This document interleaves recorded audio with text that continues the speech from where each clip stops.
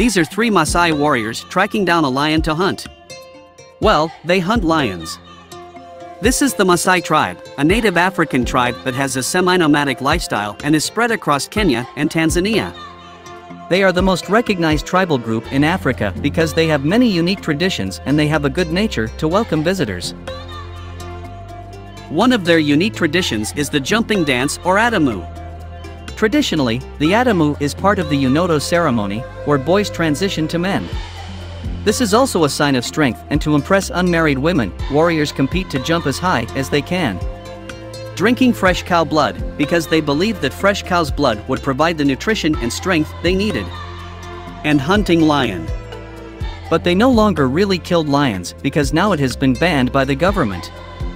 So they only hunt lions by scaring them to steal or take a bit of the prey they have been hunting.